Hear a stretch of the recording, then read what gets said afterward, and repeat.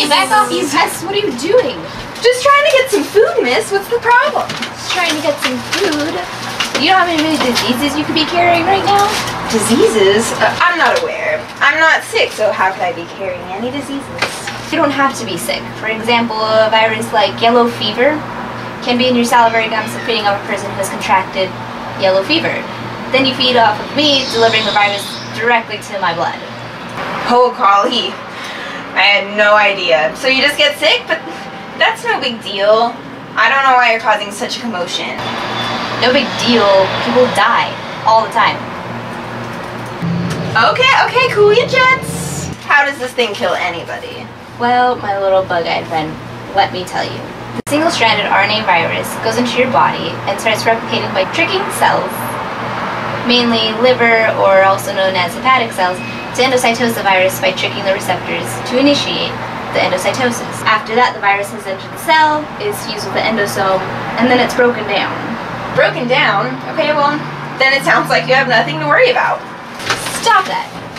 Now, that's where poop hits the windmill. Broken down means the more single-stranded RNA is changing the cell's DNA. Its genes are now free to be translated into proteins to make more of the virus, essentially causing more cells to become infected. That doesn't sound good. It sounds like these cells maybe won't function properly being infected, right? Right. The body will cause apoptosis or necrosis of the cells, and since they are your liver cells, your liver starts to break down since the immune system recognizes something is wrong with it. Jaundice is the main symptom of that because bilirubin starts to accumulate in your blood since your liver isn't filtering out well. And then, well, toxins stay there and you most likely die. Oh. Sounds really terrible, but aren't there vaccines to help with that kind of thing? Well, yeah, they have one that's known as YF17D to prevent the infection. So you must have it, so then I can eat. Man, seriously, you gotta stop. I don't have it since we live in North America, and it's more prevalent in places like South America or parts of Africa.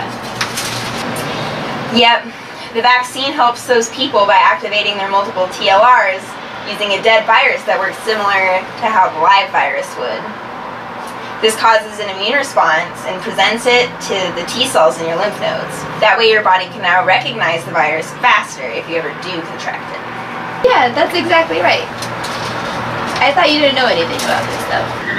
Well, I, uh, I knew most of it, but I was just hoping that you'd, uh, let me get a quick snack when you were done jabbering. Okay, fine. Bite you later, I guess.